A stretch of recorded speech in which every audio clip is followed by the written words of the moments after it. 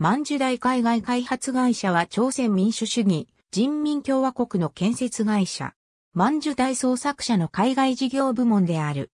アフリカ諸国の記念碑的建造物の建設を多く手掛けており、ナミビアでは大統領府及び英雄記念碑を、ベナンではベハン人像を、セネガルではアフリカルネサンスの像を、ボツワナでは三主張の像の建設を請け負った。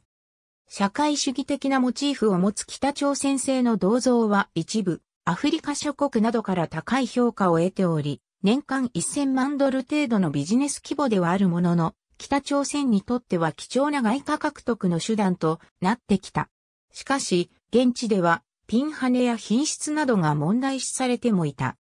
2016年11月30日に国連安全保障理事会が採択した北朝鮮に対する制裁決議案の中に石炭などの天然資源ともに銅像の輸出禁止が盛り込まれており、事業の先行きは不透明なものになっている。